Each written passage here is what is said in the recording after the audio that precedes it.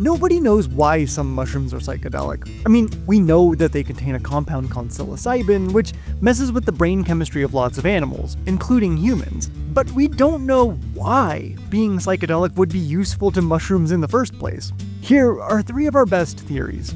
Hi, I'm Cameron, and this is Minute Earth.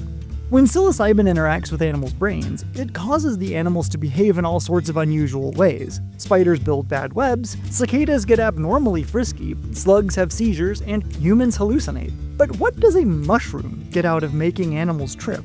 Scientists have considered tons of ideas. Let's talk about three of them. The first is that fungi might not get anything out of producing psilocybin. Maybe the compound is an evolutionary accident like our widow's peaks, or a relic from the species past like our tailbone nubbins. But this probably isn't the case. Nitrogen is a critical component of psilocybin, but most fungi that make psilocybin live in environments where there is very little soil nitrogen. In order to produce psilocybin, fungi have to limit how much nitrogen they devote to important tasks like growth and reproduction. Yet, some fungi make tons of psilocybin. So, considering the cost, psilocybin must do something for these fungi. Another idea is that maybe it helps them fend off hungry critters. After all, soil-bound species make all sorts of chemicals whose bitter taste or toxins keep herbivores at bay. But psilocybin is neither very bitter nor very toxic.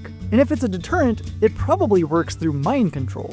I'm not saying that psilocybin makes bugs hallucinate the same way that we do. There's no evidence of that but it makes fruit flies breed like rabbits, and it can make entire ant colonies turn on each other. These are behaviors that might distract these animals from munching for a while, or it might make them more vulnerable to predators, eliminating them entirely.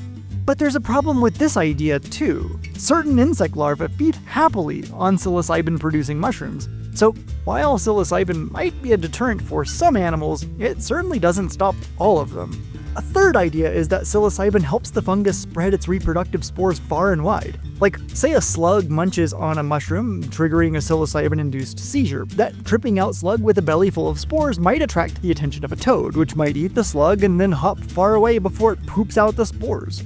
But this idea isn't perfect either, because if psilocybin's job was simply getting animals to move its spores around, it's unclear why it would need to make the animals behave weirdly, when simply being tasty and nutritious would probably do.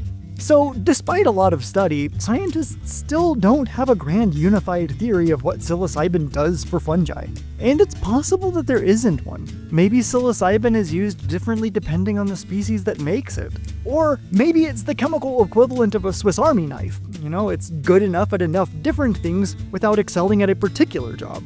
For now, the bottom line is that when it comes to our scientific understanding of psilocybin, there is still so much room for improvement. This video is made possible by our patrons, who are some of our favorite people on the planet, and you can join them at patreon.com slash minuteearth.